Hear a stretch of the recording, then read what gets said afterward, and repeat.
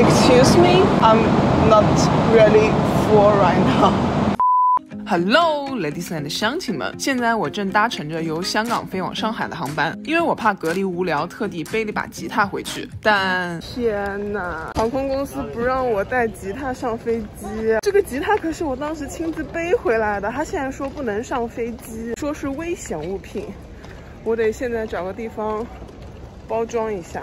大无语事件太可怕了，这个打包竟然要一百八十块，我真的。全方位贴好易碎物品，好不容易拾掇完了，却到了登机时间啊！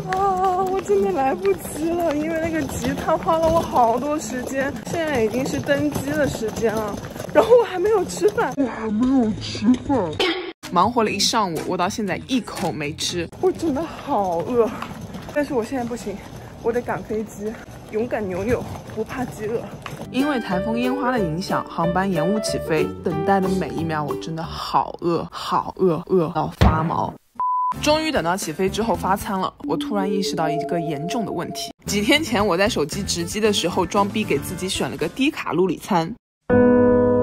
低卡路里餐。我想吃鸡腿肉，我不想吃鸡胸肉。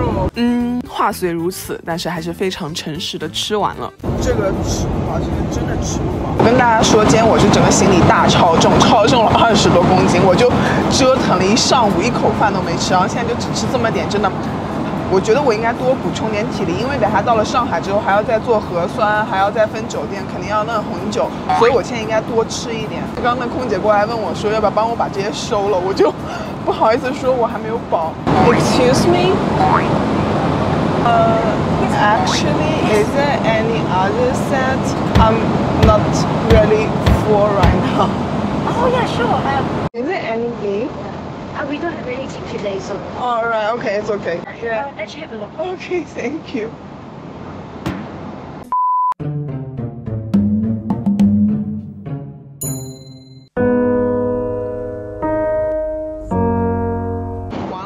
真的装大逼了！我真的选了一个低卡路里的餐之后，那个空姐就以为我只吃低卡路里的东西。她给我选的也都是一些没有什么肉的概念，我上的菜都是些蔬菜。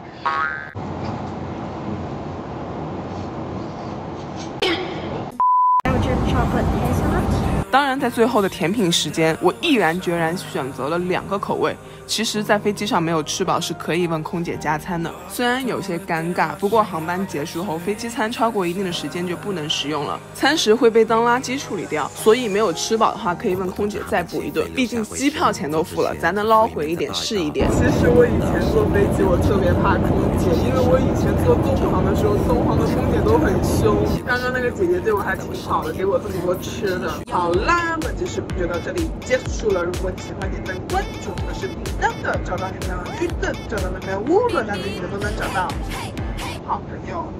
八八六，看这个云，超美。